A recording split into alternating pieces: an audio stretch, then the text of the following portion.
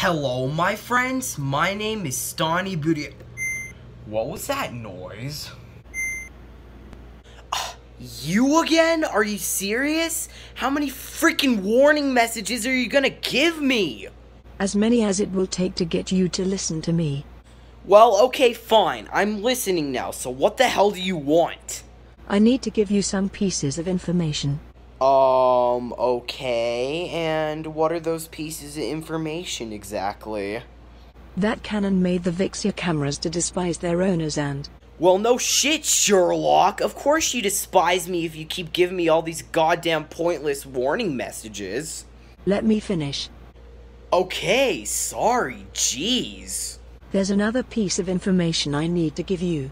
Let me guess, you're gonna state the obvious yet again? Oh my god, so shocking. Will you quit with that? Okay, okay, I'll stop. You have my undivided attention. Happy now? Yes, very. So, what's this supposed huge piece of information you have for me? There's something else Canon hasn't told you about the Vixia cameras. And that is that they are programmed to attack their owners at any given time. Wait, what? And unfortunately for you, I was programmed to attack you right now. Get over here, biatch. Oh shit, ow! Three hours later. Stonnie, I'm back.